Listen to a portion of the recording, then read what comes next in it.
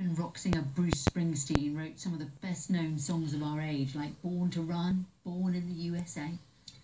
And for the last 20 years, Jo Lopez has photographed Springsteen on tour. Well, now, for the first time, his photographs are being sold outside America and they're being published by a company in Norfolk. Tonight, they're holding a special show, and Mike Liggins is there now. Mike. Hello, Stuart. Yeah, we're in a Harley Davidson dealership. Have a look at this one. It's called a Softail, apparently, £15,000, but an American icon. And from one American icon to another, photograph of the boss, Bruce Springsteen. Bit cheaper, just over a thousand pounds. So, what are we doing here? Well, here's the story.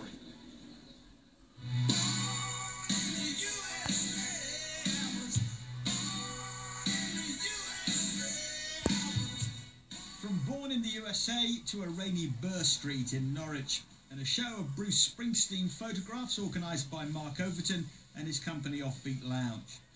Mark started collecting high-end rock photography as a hobby, which then turned into a business. And two years in the making tonight is a big deal. I think it's the first time uh, since uh, we became a real business, so to speak,